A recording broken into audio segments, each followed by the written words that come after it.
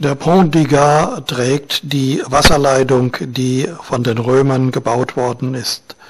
Überraschend ist die große Durchflussmenge des Wassers, also die Wasserrinne, die damals die Flüssigkeit in die Stadt getragen hat. Es kann ein erwachsener Mensch darin stehen und man muss sich das Maß etwa vorstellen, 50 breit, etwa 1,70 Meter hoch.